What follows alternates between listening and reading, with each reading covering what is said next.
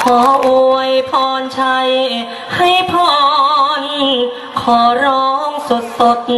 เป็นกลอน เป็นคำพรฝากไว้